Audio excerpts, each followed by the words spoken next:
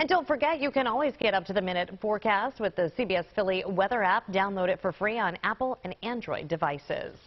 New at 10, the family of a 34-year-old left paralyzed after a hit-and-run crash is pleading for the public's help tonight to find the person responsible and asking them to do the right thing. Tonight, they spoke with Eyewitness News reporter Alicia Roberts.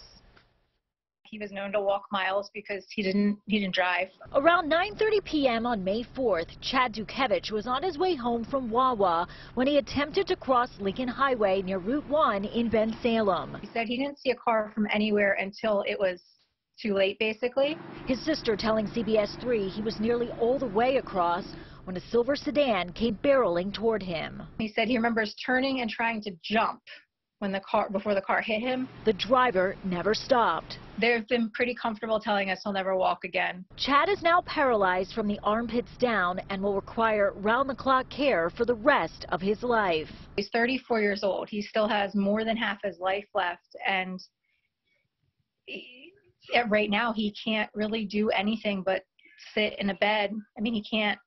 Like I said, he can't itch his face if he has an itch. He can't change the TV channel. He, he literally just has to sit there and wait. For somebody runs over a, a human being and everybody just goes about their business. Someone had to see something. It's been five weeks.